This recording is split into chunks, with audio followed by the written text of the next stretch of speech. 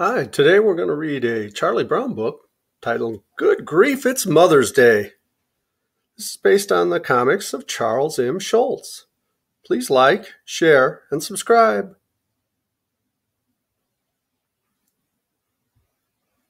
Good grief, it's Mother's Day, Charlie Brown told Snoopy. You should write your mother a nice letter. Snoopy liked the idea, but he didn't know what to write. It should be a very personal letter, Charlie Brown told Snoopy. The kind that could come only from you. Snoopy pulled out his typewriter. Tap, tap, tap went the keys. Let's see what you've written, Charlie Brown said. Dear Mom, he read. Just a short note to wish you a happy Mother's Day. I miss you very much. I miss your hugs, your kisses, and your apple pie, he said. Snoopy, I find it hard to believe that your mother baked apple pies. Snoopy thought for a moment and started over. Dear Mom, he typed, I remember when I was born. It was a dark and stormy night. Charlie Brown read the new letter and threw up his hands. Good grief, he cried. Snoopy wasn't the only one thinking of his mom.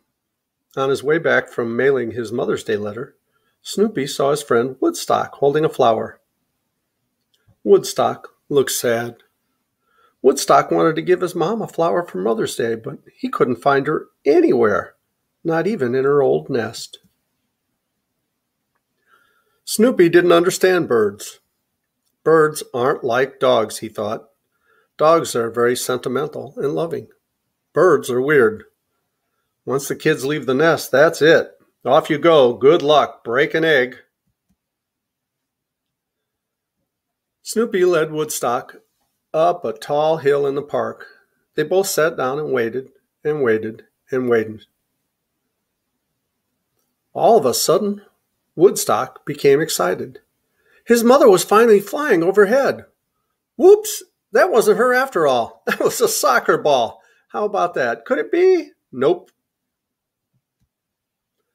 Wait a minute, thought Snoopy. Is that her? Woodstock threw his Mother's Day present in the air, but it wasn't his mother after all. He had thrown the flower at an airplane. Woodstock sighed. Mother's Day just wasn't Mother's Day until your mother flew by. Meanwhile, Sally, Lucy, and Violet were skipping rope in the park. Today is Mother's Day, Lucy announced. You should both do something nice for your moms. Mother's Day is neat, Violet said. I always get moms something real nice on Mother's Day. Like what? Sally asked. How about a card? Violet suggested. It's fun to give people cards. Sally liked that idea. On Valentine's Day, I give my mother a real nice lacy type valentine that I made at school, she said. The first day of spring, I always give my mother a flower, Lucy said. A card would be nice to give on Mother's Day, too. I know just the one. Peppermint, Patty, and Marcy were all ready at the card store. I don't have a mother, Peppermint Patty said to the clerk. So what I need is a Mother's Day card for my father, who has been a mother to me. Wah, wah, wah, wah, wah, wah, said the clerk. You don't have any cards like that? said Peppermint Patty. How about a graduation card, sir? Marcy said. Like he's graduated from being a father to being a father and a mother.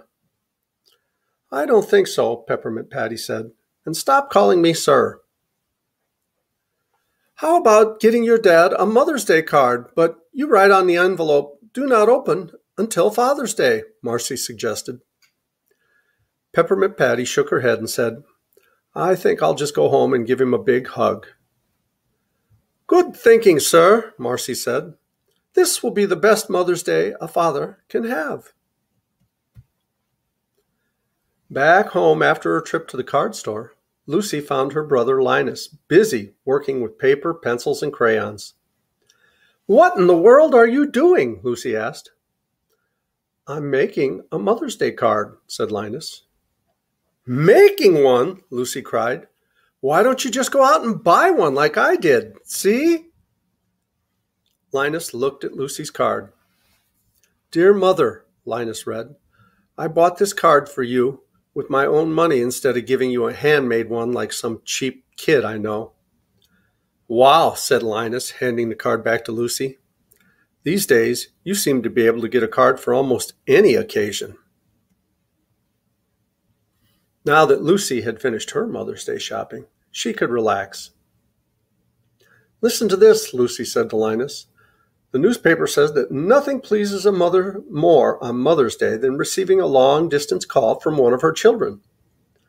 That's a good thought, Linus said. Linus grabbed his piggy bank and shook out a few coins. Then he burst through the front door and ran all the way down the block. Linus didn't stop until he found a phone booth. Inside, Linus dropped a coin in the slot. Then he dialed. When his mom answered the phone, he cried, Happy Mother's Day!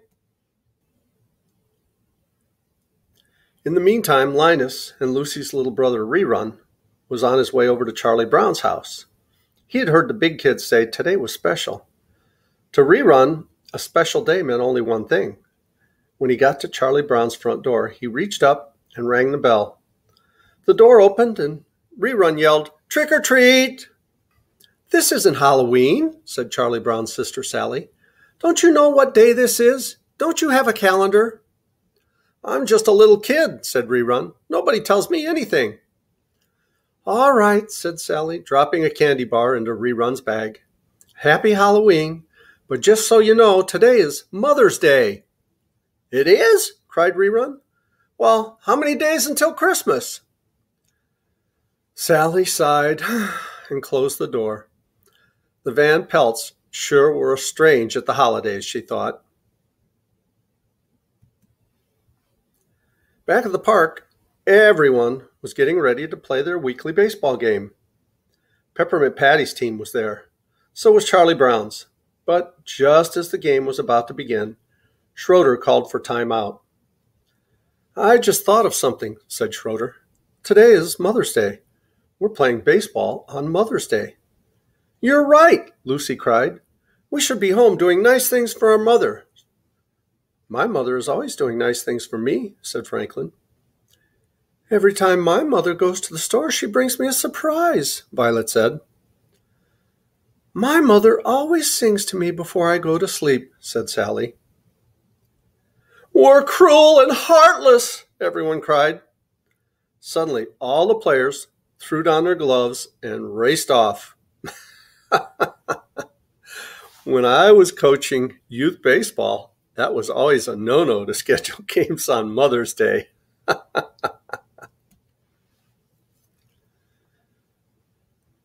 what did you give your mom for Mother's Day, Charlie Brown? Lucy asked. I was going to let her throw out the first pitch of the game, he said. Oh, said Lucy, that's very nice of you. Then Lucy glanced around at the empty baseball diamond. Too bad nobody's left to play the game, she said, and laughed. After Lucy left, Charlie Brown sighed. Sorry, Mom, he called to his mother, who was still sitting on the bench. Maybe next year. Then he shrugged and added, Oh, and happy Mother's Day anyway. and I hope all you moms have a happy Mother's Day. As Tigger says, ta ta for now. I love you guys. Bye bye.